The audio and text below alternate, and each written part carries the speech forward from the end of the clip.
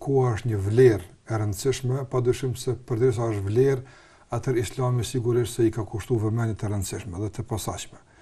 Ë në anën tjetër edhe sistemi i vlerave nuk është, do të thotë, vlerat i bën që të jenë disa më të rëndësishme, disa më pak të rëndësishme, ndërsa në këtë renditje koha zë një vend të posaçëm sipas rangimit islam që ia bën vlerave.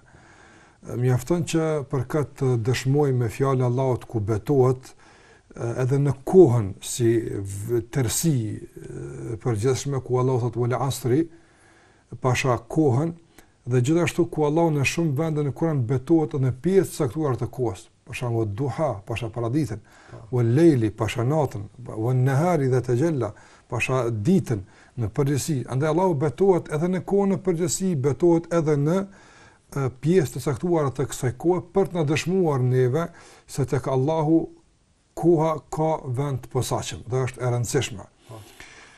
Rëndësia e kohës është se ajo është jeta jonë. Andaj koha është jeta realisht.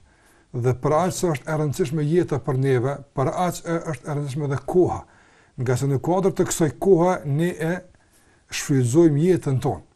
Për këtë arsye edhe Muhamedi sallallahu alaihi wasallam i ka kushtuar vëmendje të posaçme kohës, duke duke na dhënë udhëzime edhe teorike, por edhe praktike nga jeta e tij e përditshme.